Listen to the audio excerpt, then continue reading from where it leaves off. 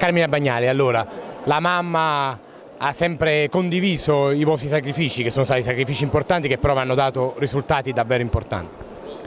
Sì, ci ha sempre sostenuto e comunque anche i genitori fanno tanti tanti sacrifici per mandare appunto eh, i ragazzi a fare sport. Eh, noi li facevamo da, da, atleti ma loro da genitori, quindi eh, anche, anche grazie a loro perché eh, anche grazie a loro siamo riusciti a fare quello che eh, abbiamo fatto. Insomma. Avete dedicato tante vittorie ai vostri genitori, oggi c'è chi dedica qualcosa a tua mamma per i sacrifici che ha fatto in questi anni? Eh, sì, eh, indubbiamente anche, anche loro eh, devono, devono, festeggiare i, i, quei grandi successi ottenuti.